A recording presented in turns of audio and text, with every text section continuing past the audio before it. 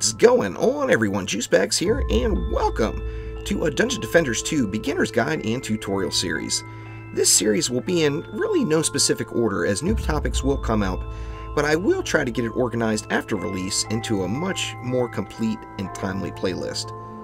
As changes take place between now and release, I will do my best to update this series and make sure that the playlist is always current. This series will be played on the PC, however most of these topics will very easily transfer over to the PS4 with just a few different controls. If there's anything at all that you'd like more information on, or something that you struggled with as a beginner, let me know in the comments below and I'll do my best to make it a topic in this series. Without further ado, let's get started. A lot of time, new builders in Dungeon Defenders 2 will wonder why their build works sometimes and doesn't work other times. And one of the reasons why is just the lanes can vary every single run. Now, there's a few different ways this happens. Uh, sometimes a set group of mobs will come out a particular lane, like here, for example. We've got three lanes, Little Horn Way, the Bridge Lane, and the Market Path. And these are color coded, so we see this flashing red lane is supposed to be the most difficult lane, then the bridge, and then the market path being the easiest.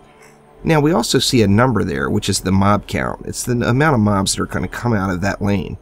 So the market path is going to have 56, the bridge lane is going to have 59, and Little Horn Way is going to have 150. Now the very next time I do this Matt the 150 uh, mob lane that's the most difficult could very well be over here at the market path and it's going to change every time you do the map. Now another important thing to remember is not only do we know the mob counts coming out of a particular lane, but each lane is going to have buffs on it. In this particular case with Little Horn Way, it has the healthy buff and the mighty buff. So all of the baddies that are coming down this lane are going to have 35% increased health, and they're going to hit for 35% harder than the normal mobs would out of one of these other lanes. Uh, here we see this lane's got Tenacious and Grounded, so these mobs are going to have some crowd, con crowd control resistance, and they're not going to be able to get knocked up, so those geyser traps are not going to be effective for you. And then here, of course, we see Troll Blood and Tenacious, and then Troll Blood, of course, means all the mobs coming down here are going to have a little heal going, for 150 HP per second. So uh, all these mobs are naturally going to get healed as they run down.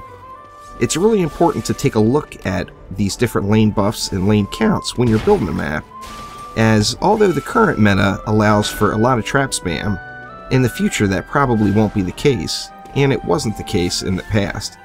So you're going to have to look at your lanes and decide how to build each one uh, if you have a lane, for example, that is grounded and can't be knocked up, then we know putting a mystic wall down here or a geyser trap is not going to be effective. Where if we just see that this particular lane with the flashing red bar is a dead giveaway, this lane is going to require some hero damage on it right out of the gates. Hope this helps everyone out. Thanks again. Thank you for watching. If you enjoyed the video, click that like button and mash this big J over here to subscribe to the channel. Thanks again. We'll see you soon.